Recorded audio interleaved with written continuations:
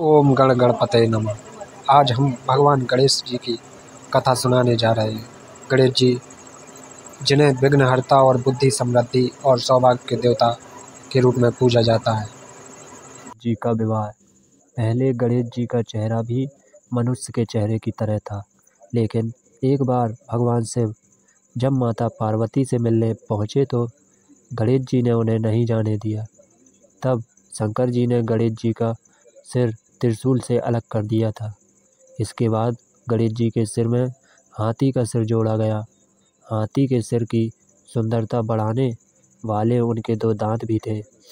लेकिन परशुराम के साथ युद्ध में गणेश जी का एक दांत भी टूट गया और वो एक दंत कहलाए। उनका उनका शरीर भी बड़ा था, इसलिए उनसे कोई भी सुशील कन्या विवाह के लिए राज़ी नहीं होती थी। गणेश जी इस बात से नाराज़ थे। उन्होंने कहा, अगर मेरा विवाह नहीं हो रहा तो मैं किसी और का भी विवाह नहीं होने दूँगा।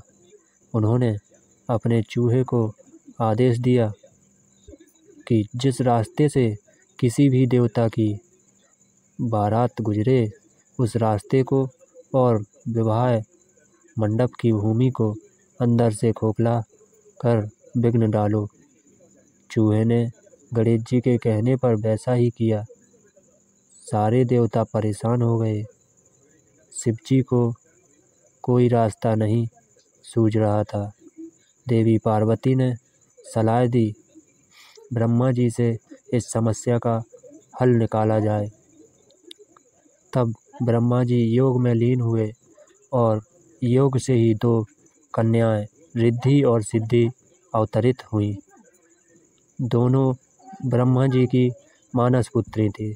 उन दोनों को लेकर ब्रह्मा जी गणेश जी के पास पहुँचे और कहा, वह उन्हें शिक्षा दें। गणेश जी तैयार हो गए। जब भी चूहा गणेश जी के पास किसी के विवाह की सूचना लाता तो रिद्धि और सिद्धि ध्यान बांटने के लिए कोई ना कोई प्रसंग छेड़ देती। इस तरह विवाह निर्विघ्न होने लगे। एक दिन चूहा आया और उसने देवताओं के निर्विघ्न विवाह के बारे में बताया। तब गणेश जी को सारा मामला समझ में आया। गणेश जी के क्रोधित होने से पहले ब्रह्मा जी उनके पास रिद्धि और सिद्धि को लेकर प्रकट हुए। उन्होंने कहा, आपने स्वयं इन्हें शिक्षा दी है।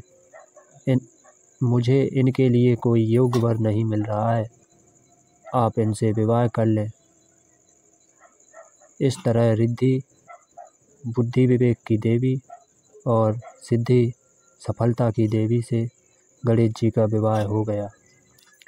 और फिर बाद में गणेश जी के शुभ और लव दो पुत्र भी हुए। जय श्री गणेश।